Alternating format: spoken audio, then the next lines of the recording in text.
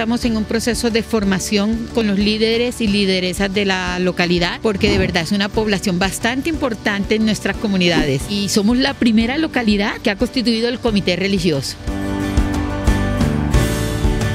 Nosotros como comunidad aceptamos no solamente como invitación, sino como un reto también para poder participar en conjunto con otros programas de otras iglesias y poder hacer una muy buena labor. El conocer las rutas, cuáles son los programas que tiene nuestra alcaldía y cómo desde lo que nosotros tenemos como institución, lo que hemos construido durante estos años también, podemos entrar a interactuar y hacer un mejor trabajo.